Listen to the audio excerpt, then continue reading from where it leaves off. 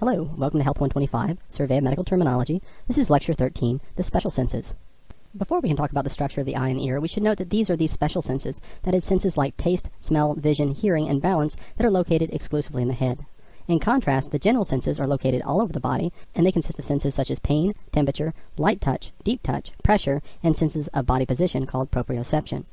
The first sense we're going to look at is hearing, and hearing is a special sense that is located only in the head, and the and the ear is divided into three different parts: the outer ear, the middle ear, and the inner ear. The parts of the outer ear include the auricle. The auricle is otherwise known as the earlobe or pinna, and the function of the auricle is to funnel sound into the ear canal. The ear canal, sometimes called the external auditory canal, channels sound into the middle ear. The external auditory canal is a place where you would insert a Q-tip, although you're always told not to put Q-tips in the ear, but this is a site where earwax may accumulate. The earwax is produced by ceruminous glands within the external auditory canal. The tympanic membrane, or eardrum, separates the outer ear from the middle ear.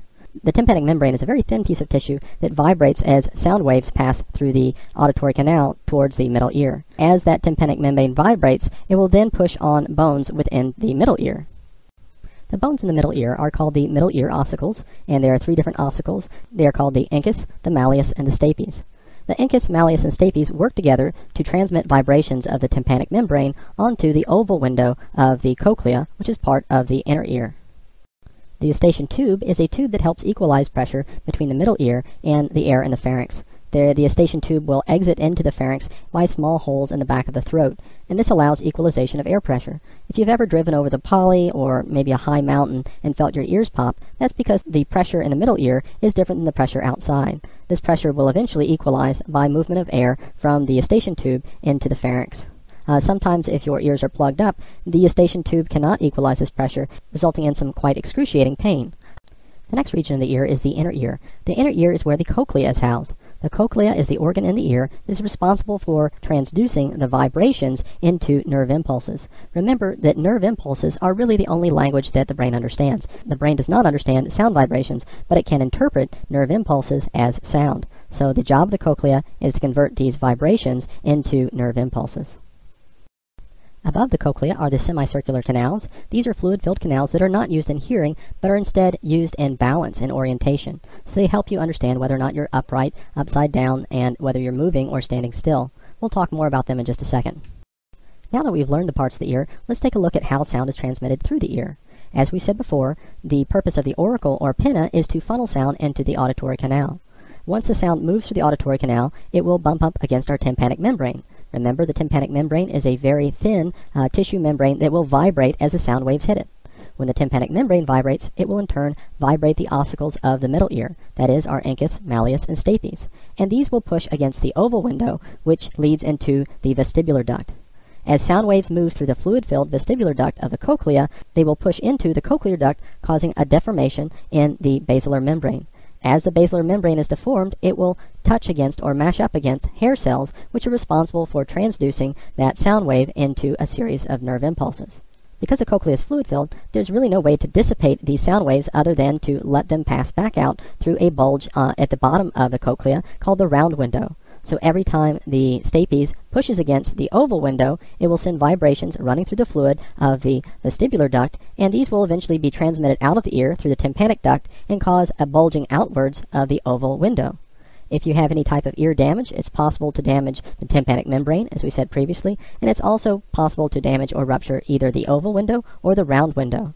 Oval window and round window ruptures are much more serious than a rupture of the tympanic membrane because these are in the organ of transduction, the cochlea.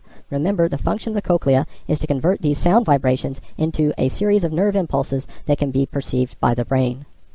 So the cochlea is the organ of sound transduction. It helps to convert sound waves into a pattern of nerve impulses that the brain can understand. Connected to the cochlea are organs of balance and orientation. These consist of the saccule, utricle, and also the semicircular canals. Together, these organs help sense balance, rotation, acceleration, and also deceleration. You should note that the semicircular canals are vertical, horizontal, and also oblique. So these help us sense uh, dynamic equilibrium, such as movement. If you're moving in a very swift moving car, you know that you're moving because the fluid is moving through your semicircular canals. The way that the semicircular canals and otolithic organs, the saccule and the utricle, work is fairly complicated, and you'll learn more about how these organs work in your anatomy and physiology classes. But suffice it to say, all of these organs participate in equilibrium, that is, maintaining balance. Both the organs of equilibrium and the cochlea communicate with the brain via a nerve called the vestibulocochlear nerve. The auditory nerve is the branch that carries nerve impulses from the cochlea, whereas the vestibular nerve is the branch that carries nerve impulses from the vestibular apparatus, the saccule, the utricle, and the semicircular canals. There are two words that mean pertaining to the ear. The first is the word prefix oto, which means ear. An example of a word using oto would be otoscope. An otoscope is a device used to look into the auditory canal and visualize the tympanic membrane. If you go in for a routine checkup, chances are the physician will look into your ear with an otoscope to make sure that the tympanic membrane is intact and that there's no fluid buildup behind the tympanic membrane. Another word meaning pertaining to the ear is aural. Aural is more used in the veterinary industry, as in the term aural hematomas. Aural hematomas are collections of blood within the external ear of a dog. Audiometry is a type of clinical test used to evaluate the hearing of a patient or subject. Remember, audio is a combining form, meaning to hear, and metry is a suffix, which means measurement. So what we have is something that means measurement of hearing. Typically during audiometry, we have somebody sitting in a soundproof booth. They're wearing high quality stereo earphones, and the physician will send sounds into the speakers that they're wearing on their head of varying uh, decibel levels, that is, varying magnitude, and also of varying frequency. What they're trying to find out is what is the minimum decibel level that a person can hear at each frequency within both the left and right ears. The result of her audiometry study will be published in an audiogram or audiograph. The audiogram is just a standard way of representing a person's hearing loss throughout the frequency range that most people can hear in. That is, we're typically looking at 100 Hz to 8000 Hz. The lower the Hertz levels indicates lower sounds, that is, deeper sounds, whereas the higher Hertz levels indicate higher sounds. So 100 Hz to 8000 Hz is typically the range needed for clear understanding of speech. So if somebody has hearing loss in that frequency, uh, we might have to prescribe some kind of hearing aid for that person, depending on the amount of hearing loss they're experienced. Now let's take a look at some diseases and conditions affecting the ear. The first of these is Meniere's disease. This is a disease of the inner ear which causes recurring bouts of vertigo, tinnitus, and nausea. You probably already know what nausea is. It's sickness to your stomach. Uh, vertigo is a loss of balance or dizziness, and we'll talk about tinnitus in a future slide. Uh, Meniere's disease is idiopathic. Oftentimes we don't know what causes it, but we think it might be caused by an excess fluid buildup within the inner ear and this causes some conflicting uh, signal to the central nervous system about the patient's orientation, their movement, their balance. And so what happens, we can often have a person that staggers about, uh, has a hard time standing on their feet, and probably should not be operating any type of heavy machinery or driving while they're having an attack. Uh, there are some limited treatments available for people with Meniere's disease, and these include wicks that are inserted uh, into the inner ear that wick excess fluid away into the middle ear, where it can be evacuated through the eustachian tube. Another disease of the ear is something called otomycosis. Remember, oto means ear, and mycosis refers to fungus. So this is a fungal infection of the ear. Uh, otomycosis can be caused by poor hygiene, or it can also be caused by depressed immune systems. Uh, otomycosis can lead to a lot of itching within the ear, can be very uncomfortable, and this is something that we also see in cats and dogs, fungus or yeast within the ear. Another hearing disorder that is not so much a disease, but a symptom of several diseases, is tinnitus. Tinnitus is a chronic or periodic ringing in the ears, and it's usually caused by overexposure to very loud sounds. For example, if you've been in a rock concert uh, the night before, uh, or if you operate a jackhammer, but it can also be caused by pressure damage to the inner ear. Finally, some medications, particularly some anti-malarial agents or antibiotics, are ototoxic and can cause death of hair cells within the ear, resulting in tinnitus. Now we're going to switch over and take a look at the anatomy of the eye. The eye is composed of three different tissue layers. The outer tissue layer is called the external tunic of the eye. Tunic just means covering or shirt. And this tunic is divided into two parts. The first part is the cornea. The cornea is the very clear, lens-like structure on the outside of the eye. If you put contacts on, you wear them directly over your cornea. So the cornea is a clear tissue which lets light penetrate into the eye, and it's partially responsible for the refractive ability of the eye. Refraction is the ability for the eye to bend light. Now we said the cornea was the first part of the external tunic or fibrous tunic. The sclera is the second part. The sclera is the outside white part of the eye. You cannot see through the sclera. It is opaque, made of white fibrous connective tissue, and it's a very rigid tissue which helps to hold the shape of the eye and the pressure of the eye. So as light passes through the cornea, it will first pass through a fluid called aqueous humor. Remember, humor means fluid, so this is a very non-viscous fluid, a watery-like fluid that sits in the anterior chamber of the eye. Just behind the aqueous humor, is the iris. The function of the iris is to adjust the amount of light coming into the eye. You have probably seen an iris on a microscope or on a high quality uh, camera lens. Uh, the iris helps restrict or increase the amount of light coming in, and we typically adjust the iris to very wide open in very, very dark uh, conditions. For example, if you walk into a dark movie theater, your iris will open up, opening up the size of your pupil. On the other hand, if you walk out into bright sunlight, your iris will reflexively constrict, further reducing the amount of light that's passing into the eye. And so this is when you get very, very narrow pinpoint pupils. The iris is smooth muscle, so it's not voluntarily controlled. The pupil is just the hole through which light passes through the iris. Uh, again, the pupil size is determined by a reflexive contraction of the iris, so you can't control it voluntarily, but the pupil size is something we use to evaluate um, sometimes somebody's medical condition. Uh, usually, if you shine a light in somebody's eyes, the pupils will constrict, uh, and this will reduce the amount of light going into the eye. On the other hand, if you shine a light into somebody's eyes and the pupils aren't constricting, that can mean one of two things. Uh, one, they might have some kind of brain damage, or more likely, if they're sitting up talking to you, they have probably imbibed some recreational drugs or alcohol. Just behind the pupil is the lens. The lens is the second refractive part of the eye. Where we said refraction means the ability to bend light, and the cornea was the first refractive structure in the visual path. The lens is the second refractive structure. The lens is actually adjustable where the cornea is not. So depending on whether you're looking at something very close to you or very far away, the shape of the lens can be adjusted by pulling of special muscle tissue on either side of the lens. So the lens is somewhat pliable. The function of the lens is to focus light onto the retina. The retina is the area where light will be transduced or converted into a pattern of nerve impulses. Behind the lens is a posterior chamber where the vitreous humor or vitreous body is housed. The purpose of the vitreous body is to maintain the pressure and rigidity of the eye. Uh, the vitreous humor is vitreous or viscous. Uh, if you've ever dissected a sheep eye in your anatomy class, you know that the vitreous body sort of looks like a big, thick glob of very clear snot and the purpose is to hold the round structure of the eye. So as light passes through the pupil, it will pass through the lens and be focused, and should pass unimpeded through the vitreous body of the eye. In back of the vitreous body is a second eye layer called the retina. The retina is a very thin layer called the neural layer where, tran where transduction occurs. Transduction is the conversion of light into nerve impulses. Remember, your brain doesn't really understand light, but it does understand patterns of nerve impulses. So the retina has special photoreceptors on there called rods and cones, which help to convert the light coming into the eye into a pattern of nerve impulses. In back of the retina is the choroid. The choroid is the vascular layer of the eye. Remember, vascular means vessel, so this is where we have a lot of blood vessels. The eye is a very energetically expensive organ. It needs a lot of glucose, and it also needs a lot of oxygen. So we have lots of blood vessels in the choroid, which will supply the retina and other structures within the eye. Finally, the back of the eye is where the optic nerve is located. The optic nerve carries nerve impulses from the retina to the brain. Probably at some point in your lifetime, when you went to the doctor's office, they would look into your eye with the ophthalmoscope. The ophthalmoscope is an instrument used to visualize structures deep within the eye. So they can take a look at the opacity or translucency of the vitreous body and also the lens, and they can also evaluate the health of the retina. Remember, the retina was the area where light transduction occurs. Uh, here in this image, you can see some blood vessels uh, running through the retina. That's not actually in the retina itself, but in the back of the retina in the choroid.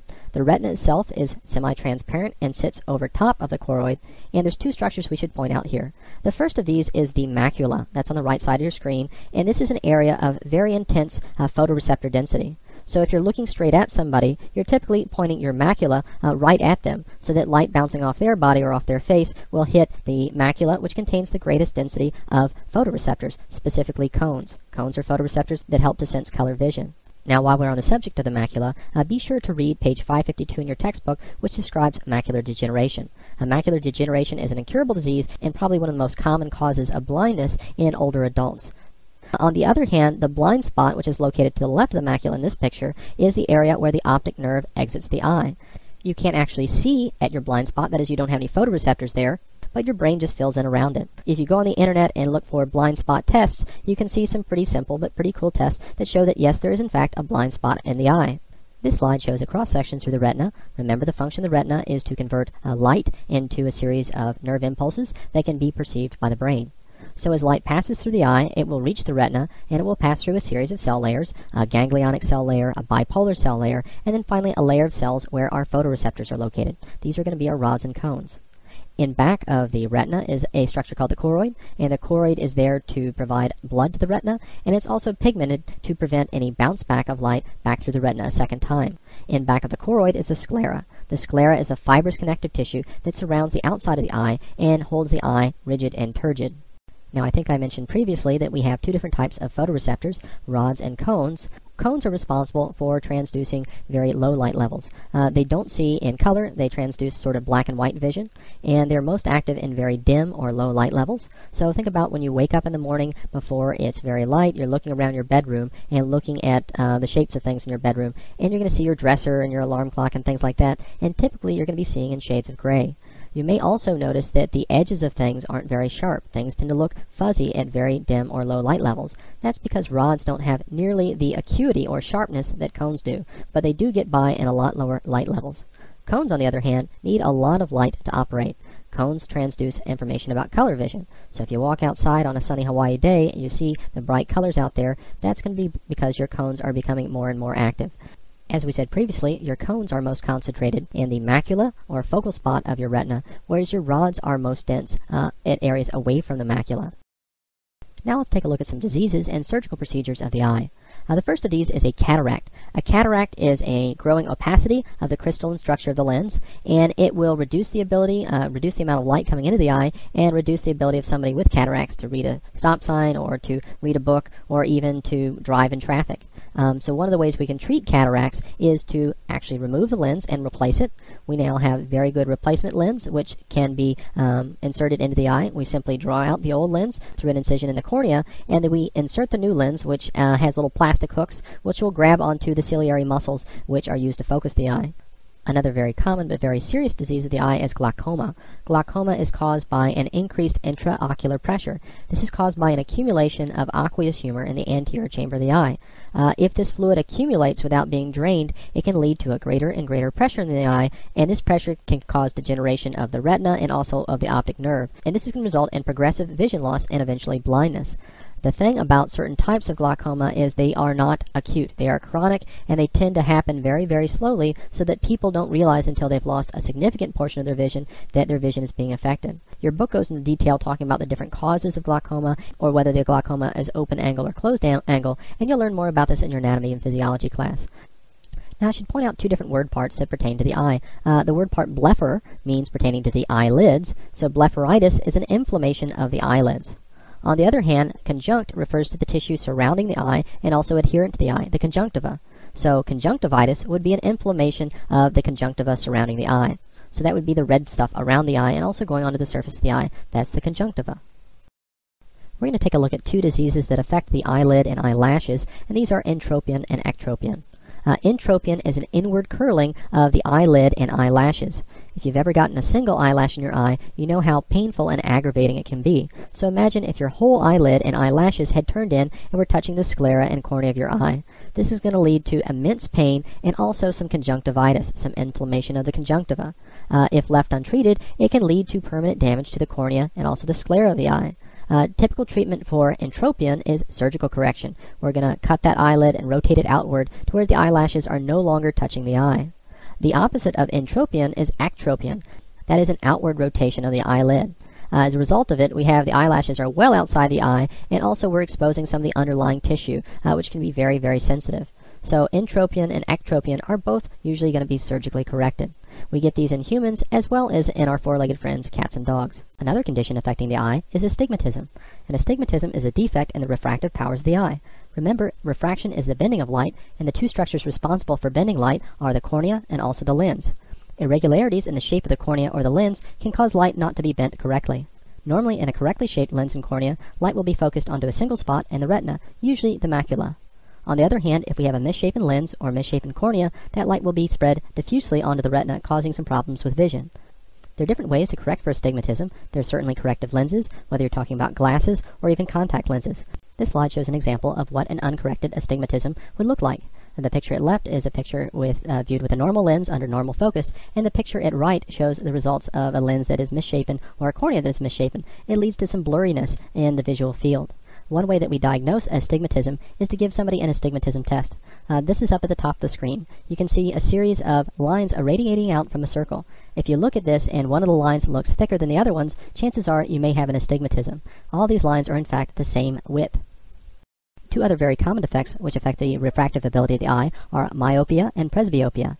Myopia is nearsightedness. If you're in a crowd and you can see things very clear that are near to you, but things that are further away are very fuzzy or blurry, indicates that you have myopia. This is the most common type of visual defect. If you have myopia, chances are you're going to wear some kind of corrected lenses. On the other hand, presbyopia is ability to see things clearly that are further away from you, but not so clearly if they're close up to you. So this is farsightedness.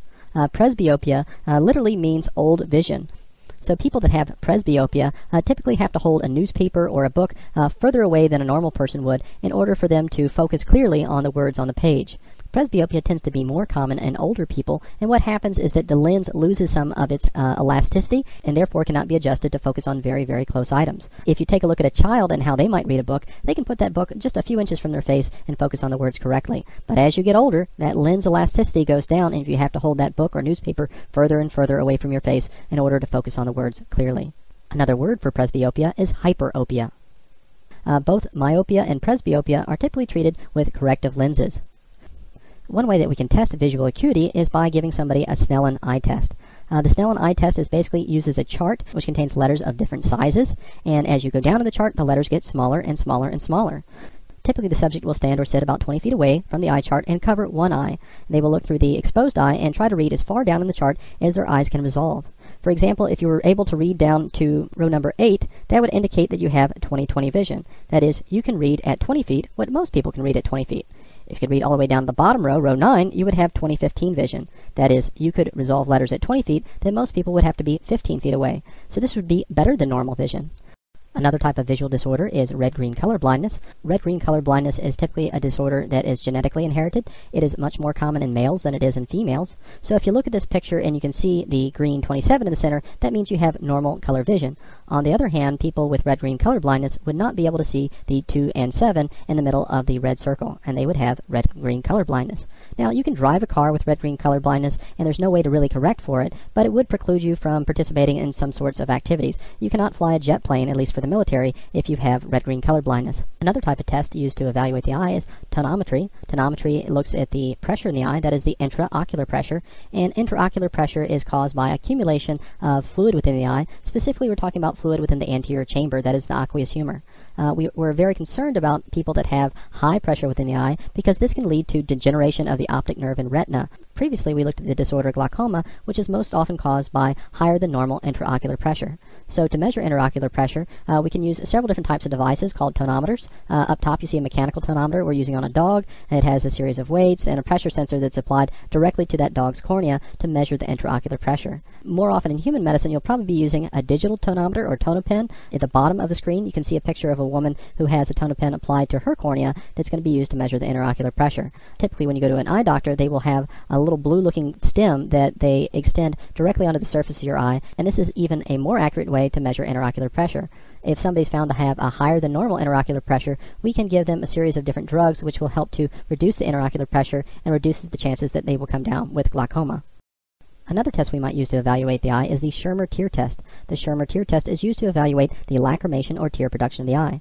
There are certain disorders where we might have a lower than normal tear production. One of these is KCS, keratoconjunctivitis sicca, and this is caused by lower than normal production of tears. To diagnose KCS, we will apply one of the Schirmer tear test strips underneath one of the eyelids, and we typically do both eyes at one time.